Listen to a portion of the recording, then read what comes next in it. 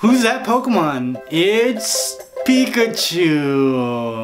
You guys are terrible at this game. I'm sorry. You need to keep playing and practice, okay? So today we're going to be making a Jigglypuff cake. Jigglypuff is one of the first divas I ever watched on TV. She wields that super small microphone marker I don't know, does something like that actually exist? And she just slays everybody to sleep, she does. I'm a huge Jigglypuff fan, so let's get started.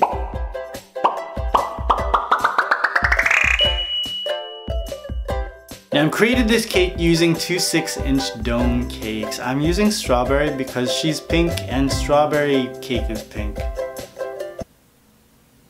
Is that the only reason? I'm just going to level these off and then fill them with some buttercream. Place the second one on top and this is gonna go into the fridge for about two hours. And that's because circular cakes are like extremely hard to work with when they are not chill. Dude, this cake has like no chill. After I took it out of the fridge, I covered it with a crumb coat to make sure that none of these crumbs appear on the final layer of butter frosting fondant. There's the word. Now back into the fridge again. And then I took it out and I placed a little bit of water on my hands and just rubbed it onto the cake just to make sure that the buttercream is smooth all the way around. So there won't be any lumps when I place on the layer of fondant. You can also add another layer of buttercream. I know, gosh, some of you guys are so judgmental about me not putting another layer, but God, only God can judge me, alright? Leave me alone. Or Catch Me Outside. Which one? Which one do you want, huh? Leave me alone Catch Me Outside. Late at night, I just watch a lot of World Star Hip Hop videos. After I did that, I rolled out a very, very large piece of pink fondant, enough to cover the entire Jigglypuff cake. Now working fast, I kind of just took my hands and smoothened out the entire cake. Just making sure I was working the fondant all the way down and this was when I realized that I hate working with dome cakes and fondant. It's terrible, it's so hard. And most of the footage is just my elbows. You know, I was getting so pissed off, you guys. At the bottom, there's less cake surface. But then you have all this fondant like left over. What do you do with it? I don't know. I don't I don't know what I'm doing. when I did finish, there were some cracks on the bottom, but I was over it. I'll take the B minus or the C plus. Whatever you want to give me, I'll take it. I don't care. Now we're gonna create all of Jigglypuff's stuff. Accents. No, that's not the word. Decorations? Features. There we go. So the first thing we're gonna do is her poof. I just created an oval shape and I took some fondant tools to create the curl. I'm just cutting into the fondant to get the perfect shape. Now the inside of this is actually gonna look like trash, but again, it's the inside of it so nobody will ever know.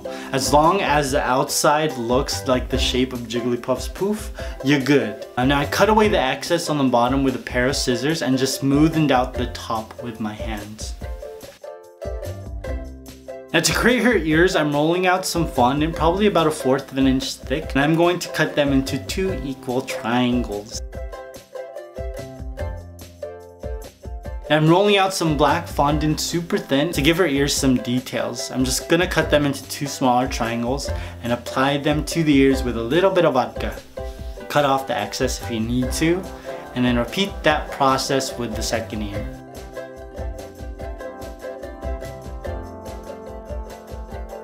Now for her eyes and mouth, I'm rolling out a lot of different colors of fondant super thin and just leaving them out to dry for about two hours, which will make them so much easier to work with.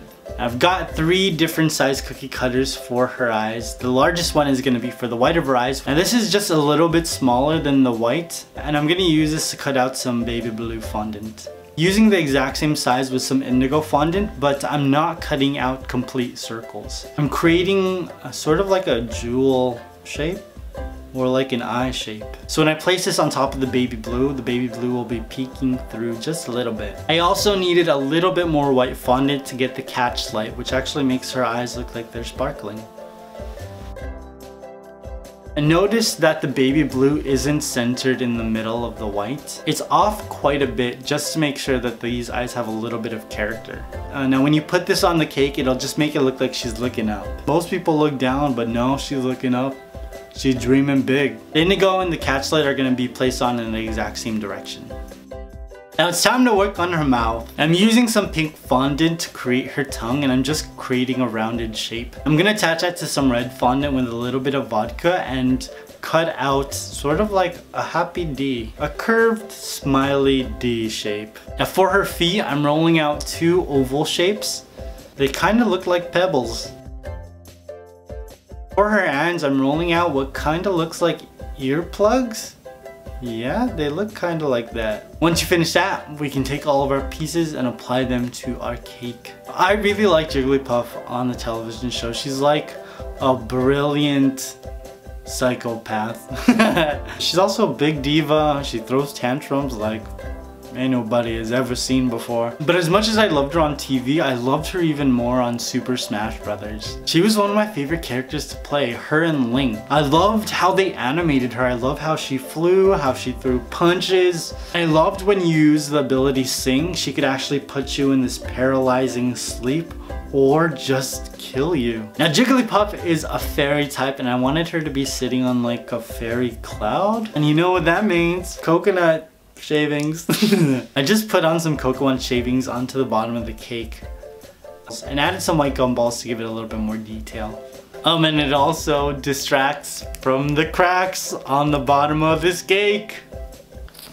I fixed it. A plus. Yeah, I'm really happy with this cake. I'm probably even more happy because I was so pissed off while I was making it. But I love her and I think I did her justice. Now if you don't know this already, Jigglypuff was one of the reasons I started baking on YouTube. I created some Pokemon cakes and I was testing out what they would look like on camera and then I decided to do tutorials. So this was freshman year, 2014 I think, and this is senior year, 2017. Yo, I need deeper pockets because there's a whole lot of change. Now if you want to see more Pokemon cakes, I created this Snorlax cake, which also has a freshman and senior year picture. I also have an entire Pokemon playlist for you at the end or in the description box.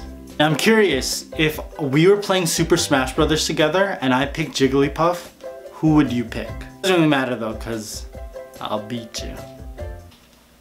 I'll put money on that. And make sure you hit that notification button so that you can see everything I post in real time. Progress shots of cakes, yeah, oh my gosh. I hope you enjoyed this. I will see you very soon. Bye.